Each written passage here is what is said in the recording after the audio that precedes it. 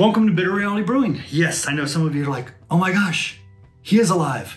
Yeah, I've had a few people reach out and go, hey, what's going on? I haven't seen anything from you in a while. I've been working a lot of projects. You know, I gotta gotta pay the bills. I work for a living, and just a lot of projects. Been extremely busy, not getting a lot of sleep, and just getting a lot of other stuff done, work related. But I got some huge news. Actually, I've got lots of news coming, but this is really big. This is the biggest of the whole year and will be continually coming to you in little clippets or snippets or whatever you want to call them. Don't forget, like, subscribe, keep sharing. Definitely appreciate the sharing. Huge. I'm going to do some future videos, and one of the future videos, I want to kind of give you a little hint or some information. I'm going to be looking for you, the viewer, subscribers, to give me your knowledge and share your knowledge. If I talk about something you know a lot about, like stainless steel, definitely give me what your recommendations are and why. Definitely why I need some justification. Some of that stuff costs a lot of money. Um, just tips, things that you would do, not do, either from experience or just overall knowledge. I'm building a brewing area, but even bigger, we're having a house built. Yes, a house built. I've mentioned it a couple times in the past. We're having a house built. And with that, I have a 480 square foot garage that's going to be primarily a YouTube studio slash brewing area slash mini pub slash slash slash slash. You know, it is the way it is. Might have a little bit of workout equipment, things like that, but hey, it's gonna have a lot of things going on. So let's jump right into this. Yep, it's a slab, a slab of concrete. Oh, there's another slab. Yeah, I know you're thinking, this isn't very exciting. How about this? It's a house. It's not done, of course, they're still building it but it's a start. Let's go around to the garage so we can actually see the future Bitter Reality Brewing location. And let's come around to the garage and yes, there's the garage opening, no door yet.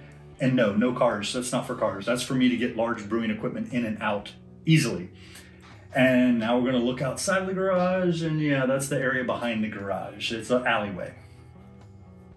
Let's jump on into the brewing area.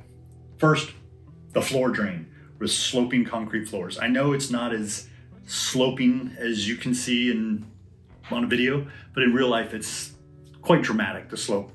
I had already planned on possibly doing something like that, but I mentioned it to Brian at Short Circuit Brewing and he's like, number one thing, get a floor drain, get a floor drain. And so I made sure I asked and I got a floor drain. It's actually probably the cheapest upgrade on the whole house, which is a good thing. um, but we're gonna go over here and we're gonna start from left and work our way around the garage. So over here in the left, this corner will be for my current fermenter, which is about four plus feet by four plus feet by about three feet tall with a dorm fridge slash freezer on the back. It works great for ales. It just does. It doesn't work well for lagers, but it works great for ales. It'll fit perfectly there, which is one of the reasons I had the garage door kind of centered to give me that little corner nook so I could have some space to put something like that. I am debating and possibly in the future we'll build a little walk-in fermenter. That would be awesome. I just not 100% sure on it yet, but that would be awesome. I could do a lot with that, not just in beer, but vegetables, hot sauces, all kinds of fermentation things going on. Now, what we're gonna do is we're gonna go over here a little bit to the right. There's the window. Yeah, it's called code. It required a window, it required two windows. Somehow I ended up with three, but it's all good. So there, there's a window. Um, in this area, it's going to be more for, you know, stocking my shelves, keeping equipment, things like that, having some little natural bit of light coming in if possible. And maybe even the AC unit will be up in this area somewhere because it'll be one of those split AC systems. So let's keep going over to the right. Now, this is going to be where, as you can see, there's an actual drain in the wall and there's two water pieces coming in for hot and cold. This corner area is where I'm looking to have a stainless steel 16 gauge sink. It's gonna have two shelves and a pretty decent sized basin. Now the basin is, you know, the clean brewing equipment, but I'll figure I put dirty stuff on one side, clean on the other. It's all kind of sloped so it drains. I'm also looking to put an RO system and also a hose, which will probably go under the sink. And that way I have them up and out of the way, but if I need them, they're available, they're there, it's all good. I'm tired of buying distilled water. I'd rather produce my own RO water, close enough, it'll work. So that's what I'm looking for that space and I'm really excited to, not to mention if I splash, it's gonna be on the ground, it'll go down the drain. Like I said, it's all good. I could literally with that lip, and you'll see that concrete lip in a lot of these photos, It goes all the way around to keep the living space above where the garage area is. This is a requirement or a code requirement, but I like it because I could literally hose the whole floor down. And as long as I'm not going nuts and spraying the walls, I won't do any damage and all the water will go right down the drain and everything can be nice and clean and squeegeed and all good. The next part, as we move a little more to the right, this is where I'm gonna have two 240 volt plugs with 30 amp breakers. So I could literally run, I could run four anvils or two anvils and two FermZillas or other brewing equipment in parallel so we could do tests and experiments side by side at the exact same time. That's awesome.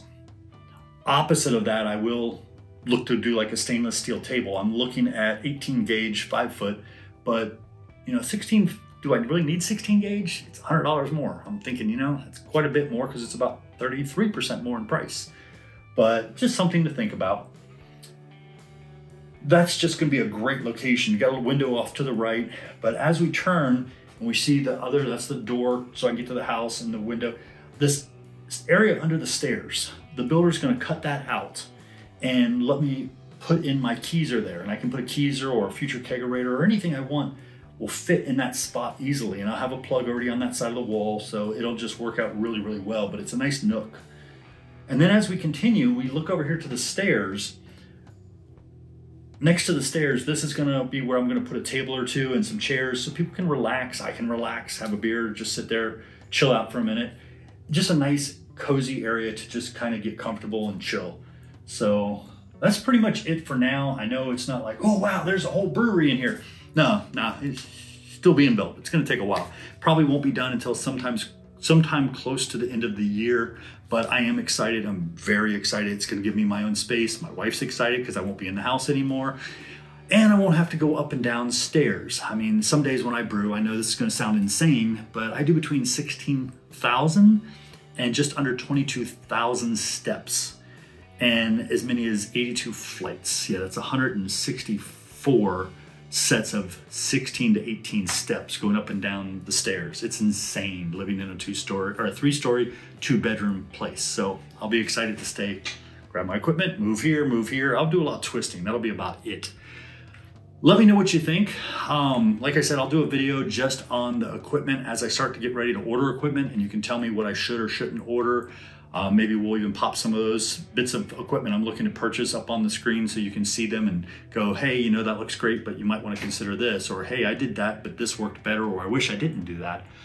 Just looking for some insight from all the users, and I just wanted to share what's been going on. Also have quite a bit of hops coming this year, so I guess we're going to do lots of IPAs and lots of hoppy beers, but we'll get there. We're not going to do only hoppy beers. We'll do a little bit of everything. Thank you again for joining us at Bitter Reality Brewing. Don't forget, like, subscribe, keep sharing. Definitely appreciate it. Looking forward to the comments, insight, any information, what you think. Thank you. Cheers.